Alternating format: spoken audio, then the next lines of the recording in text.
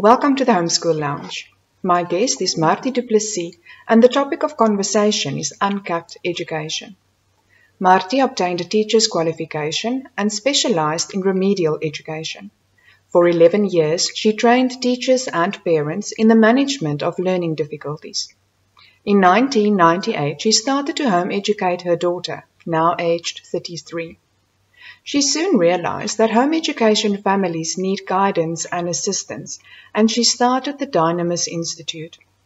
For more than two decades, she has guided families to a better understanding of each family member's learning preference and style and informed them of the various approaches and curricula that will best suit their individual needs. Her focus is on integrating life and learning.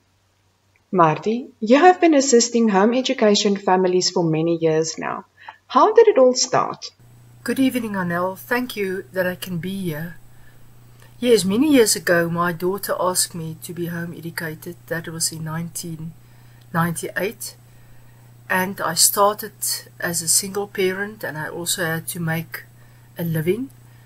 And I started to help homeschool families. And that's now many years, it's now 2019, and I'm still doing it. And so I have a whole collection and a whole journey, a whole process of seeing families being uncapped over many years. And the uncap is actually happening more in the parents than in the children. And so, yes, it's a new name, but it's actually something that's been done by many families overseas and then also in South Africa to bring hope and deliverance and healing to their families, and in this way they are much better contributing to our society. What motivated you to develop a new education approach called uncapped education?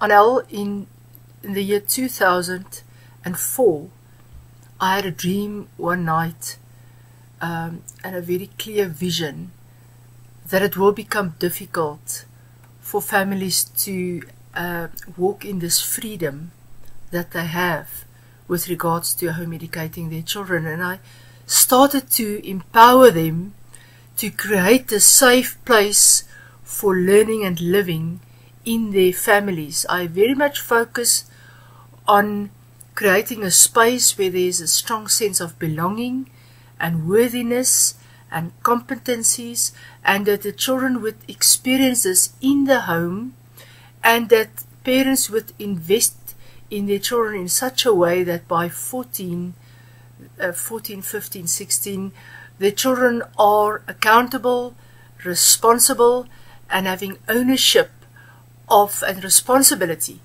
um, about what they have learned, and in such a way their parents can mentor them uh, until they leave their homes.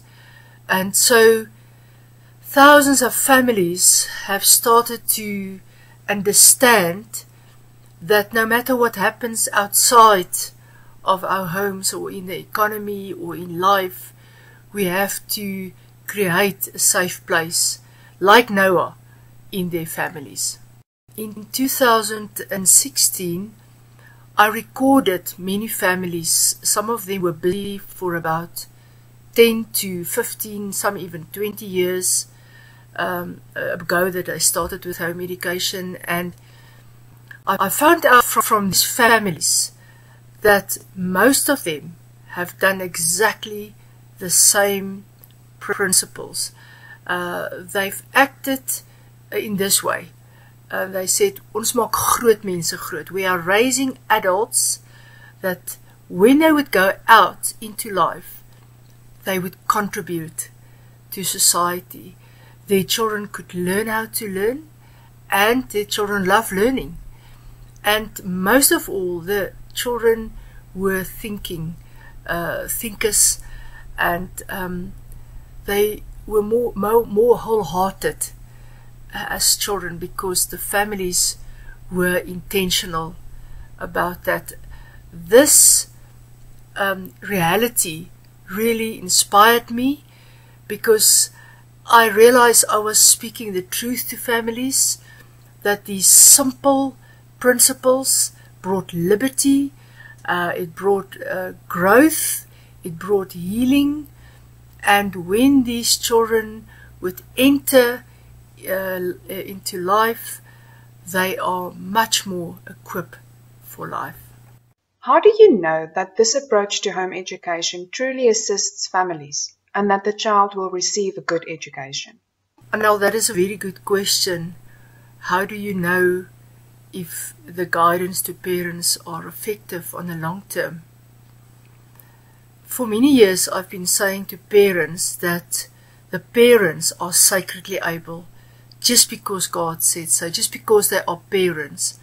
They're not a chair or a tree uh, they are parents and because they've got a heart for their children, they want to grow them and uh, they want to send them out into this life to be effective and responsible adults. And so it's the same with a teacher.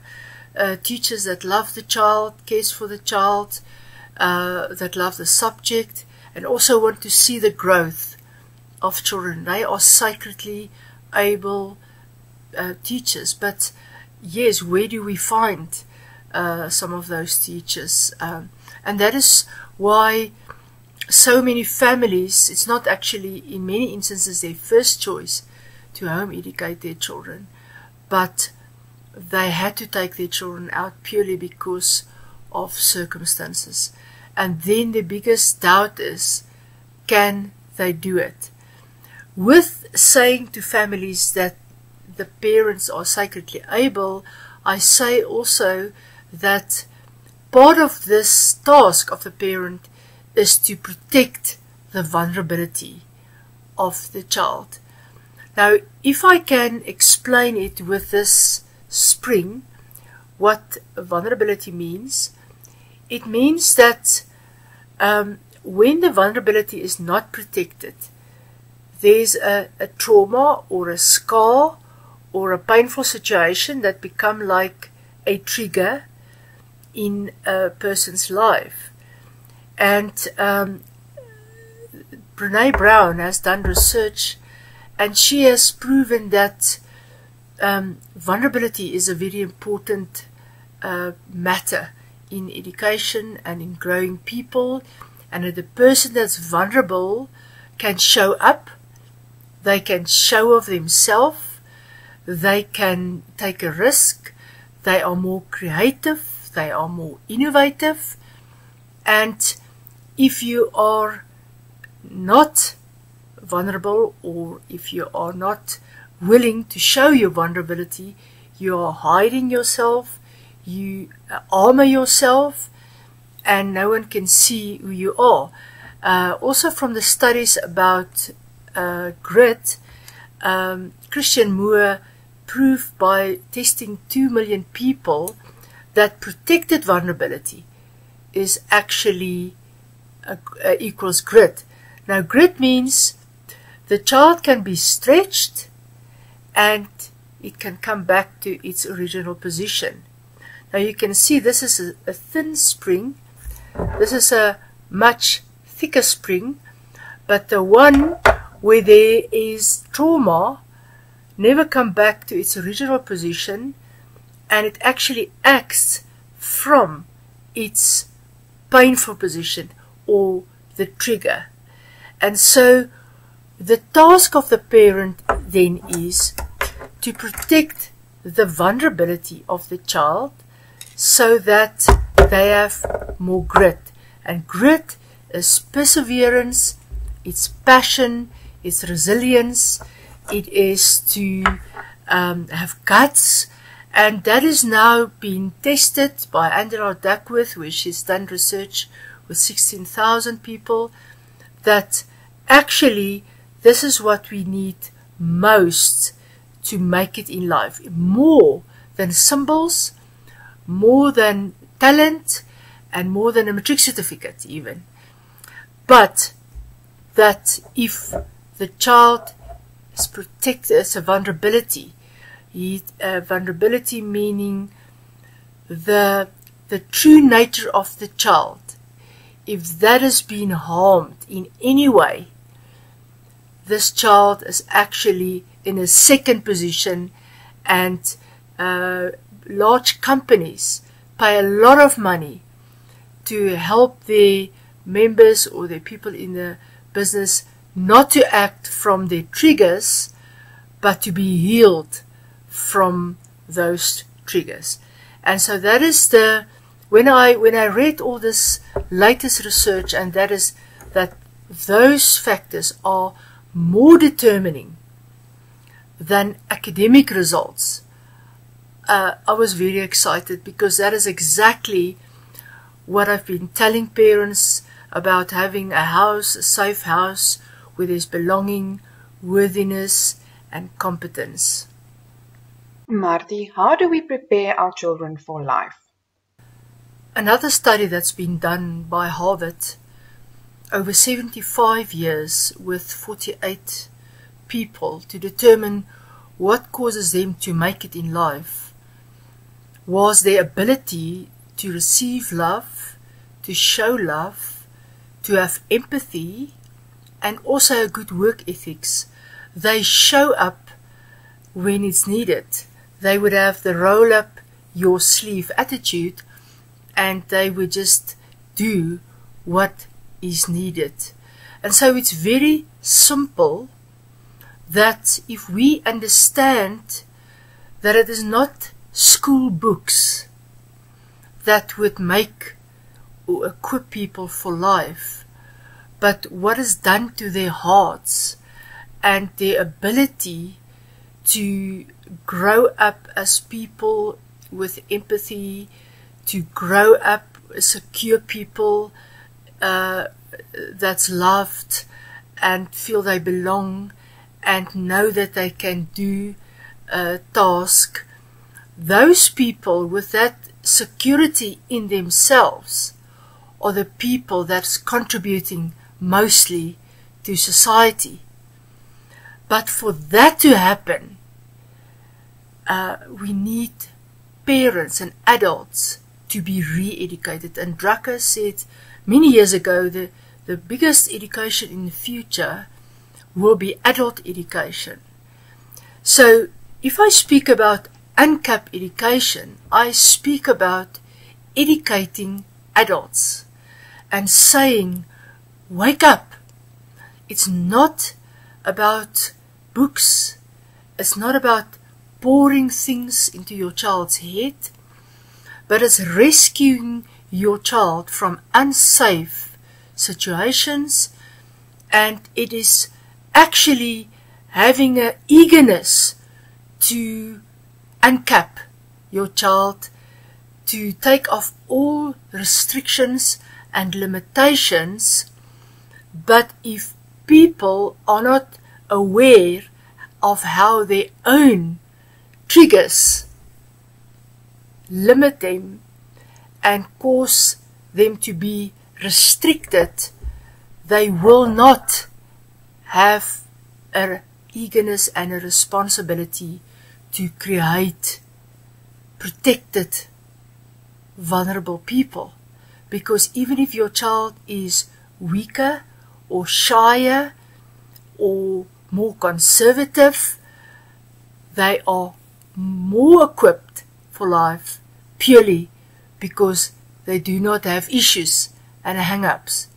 And so the task of UNCAP education is to create a critical mass of people that say that we have been doing this education even though they haven't been home educated, even if they've just been uh, parents, godly parents that take their task as educators very seriously, and they say, but we've been guarding uh, our hearts of our children.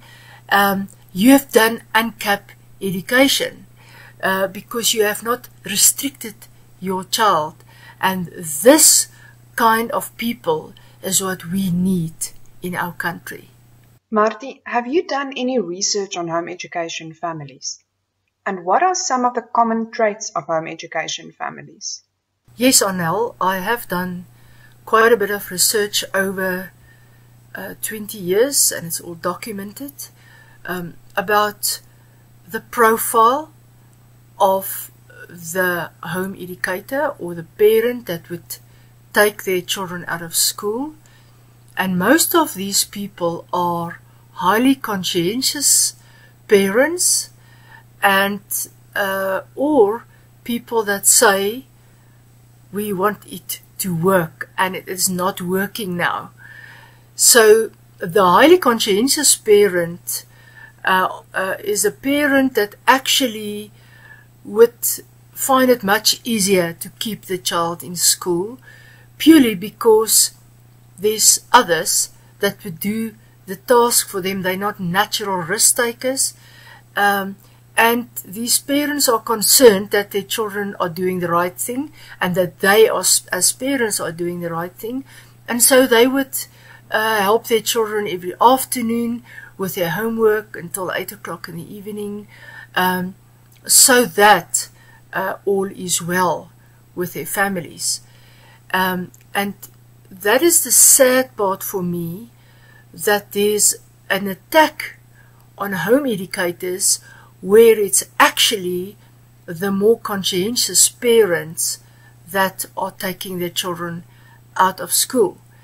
Um, if you just think how many parents and mothers would work extra jobs and extra hours for a good education for their children, but are currently highly frustrated in the country because it is not going well. And unless you can afford um, private schools, you do not know what is going to be the outcome.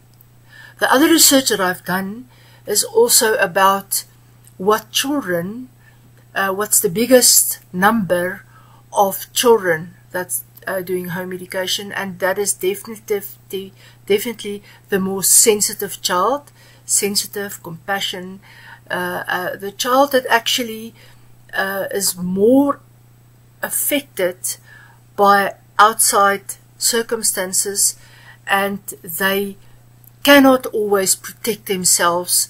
Uh, it is so, as you heard, that their vulnerabilities should actually be protected even more as they cannot stand up for themselves. Some children can just fight and attack, and um, uh, you know, when there's bullying or so, but not the very uh, sensitive and shy type of person. Now, that is because of this research that I've been doing that I know that UNCAP education is not only describing what many families have been doing, but it's also an answer for education for our country. You are clearly passionate about education and the future. Anel, passionate about the future is an understatement um, when I couldn't see how I could take on such a big vision as a nation's education, um, or changes at least for some educational uh, uh, structures in the country, I felt that God gave me a very clear uh, command uh, when He said to me, um, invest in your grandchildren in such a way that you will know that they will be okay in 30 years. And I thought, oh my goodness, then they will be 41, 39, and so go down. I've got six uh, grandchildren as well as some orphans, uh, children, foster children. And, um, and I, and I, and I said, but how do I invest into their lives? But the fact that I have grandchildren as my biggest inspiration because it is just representing representative from of many many people with children and grandchildren. And I and and and I and I just had it in mind how would it be for them 30 years from now? I might not be here. But have I been faithful with what I can do about education and for them to have true education when they are there and their children. And that is why I am doing what I'm doing so that it is possible for my grandchildren to educate their children in a country free of violence, free of discrimination. All those things that's been spoken out in 1994 and it's clearly not true at the moment in the country. And so let's stand together. Let's say that we want to uncap our children. We do not want restrictions on them. We want them to see the future in this nation.